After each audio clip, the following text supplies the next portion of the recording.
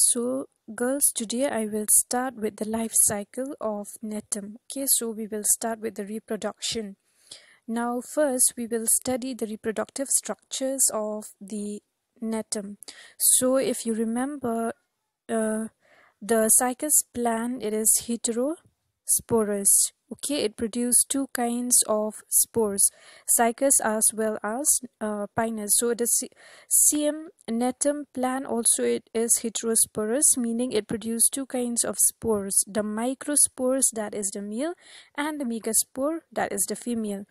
The pollen grains are produced in microsporangia.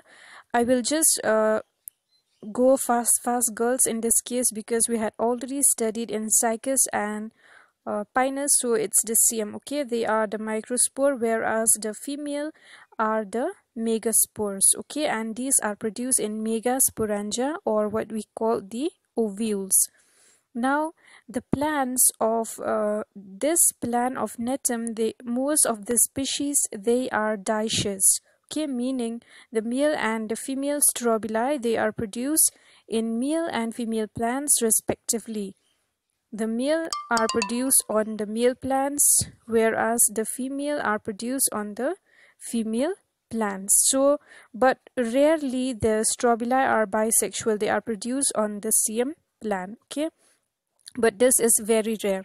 And the strobili, they are long, unbranched, either branch or unbranched. Okay. And they are produced in the axils of the leaves on terminally terminally on the shoots okay in the axil or they are produced terminally on the shoots. So i will show to you other pictures of both the male and the female uh, the male and the female spores.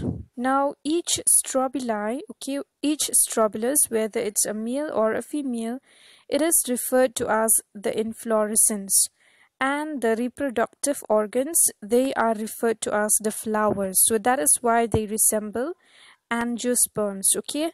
So the male and female strobilus they are referred to as inflorescence and their reproductive organs are referred to as the flowers. Now the inflorescence or the strobilus they consist of a long jointed axis. Okay as you can see these green uh, you can see here in this picture also they consist of a long jointed axis having differentiated into nodes and internodes. And each node it bears two opposite sterile bracts okay?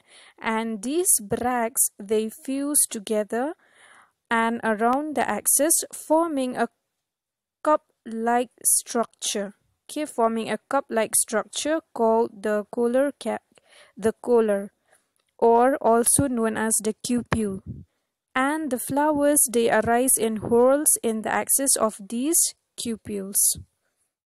So here girls i will show you for example this one.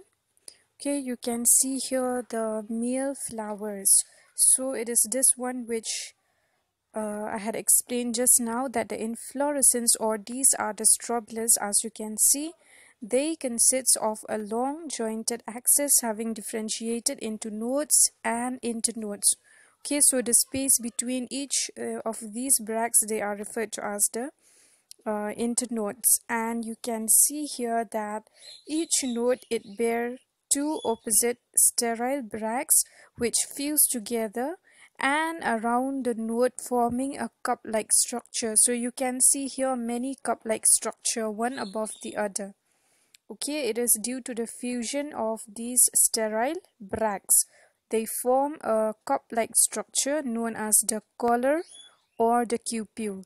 And you can see it is in the axils of these uh, bracts the flowers they arise in whorls. Okay in these cup-like structures you can see these white white flowers. These are actually the male flowers. And I can uh, show the female flowers. See you can see whereas the female flowers they are quite huge as compared to the male flowers. And even these female flowers also they arise on these uh, sterile bracts okay the cup like structures they arise from here. But as you can see here one of the female flowers this big one here it has become a seed. So that we will study later but I just want to show you the difference between the male and the female flowers. You can see this picture here. Uh, this one also it shows the female flowers okay? They arise in these cupules or the collar the cup-like structures. So first we will talk about this uh, male flowers now. Okay if you talk about the male strobilus or the male flower the male strobilus is also referred to as the male cone or we can call the staminate strobilus or we also called it a male inflorescence. And it arises either in the axil of the leaf or terminally at the apex of the shoot. You can see in this case as this one. It arises okay terminally at the apex of the shoot okay so these uh, male strobilus it consists of a long, slender and joint axis which possesses about 10 to 15 cupules okay? So these cupules which are joined together they are about 10 to 15 in numbers. And these cup-like structures the collars is formed by the fusion of the whorls of bracts okay? The bracts at each node.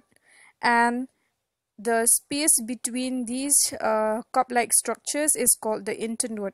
And these they are arranged one above the other in a closed whorls due to the suppression of the internodes. Okay so i hope it's clear just by looking from this figure. The male flowers they are arranged in whorls and there are about 3 to 4 whorls each bearing 5 to 40 male flowers around okay so you can see these white thing here.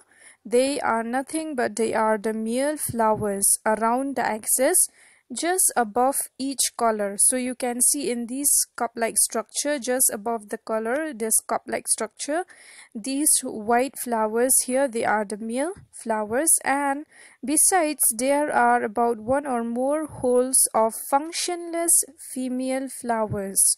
Okay so we will talk about this. I will show uh, one more diagram for you because here in this uh, male cone there are the presence of functionless female flowers okay which lie above the whorls of the male flowers. Okay so just uh, take a look at this uh, first diagram here. So the same thing here you can see that the uh, male flowers okay they are arise okay terminally at the apex of the shoot. In figure A you can see. So in figure B you can see these uh, connate bracts which fuse together to form the uh, collar or what we call a cup-like structure okay?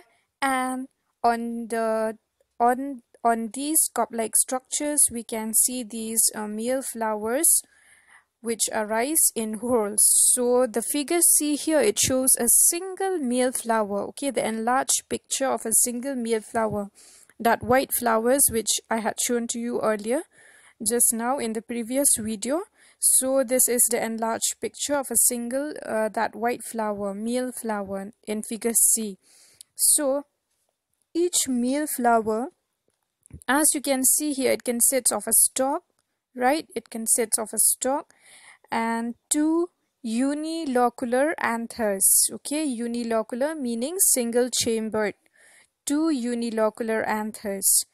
In young condition actually these male flowers they remain enclosed within a sheath like perianth okay? A sheath a covering. A perianth meaning a covering which covers the flowers when young but when they are when they become matured what happen? The the stalk it will elongate then it will push these anthers beyond the collar after splitting the perianth okay so when they push so you can see the anthers now they are outside the perianth with a stalk. But uh, let me just show you this figure b here. You can see that the anthers and the stalk you can see they are enclosed within a perianth right? So this they are enclosed when they are young but at maturity the stalk will elongate pushing the anthers to the outside beyond the collar. So the perianth meaning this covering okay the flower covering it is formed by the fusion of two bracteoles. And thus a mature flower we can see it consists of a young uh, long stalk with two terminal unilocular anthers but the number of anthers they may vary from species to species okay? They vary from one anther up to four anthers so it depends from one species of Gnetum to another species. The number of anthers they vary. And there are some uniseriate hairs okay? The hairs also are present at the base of the male flowers.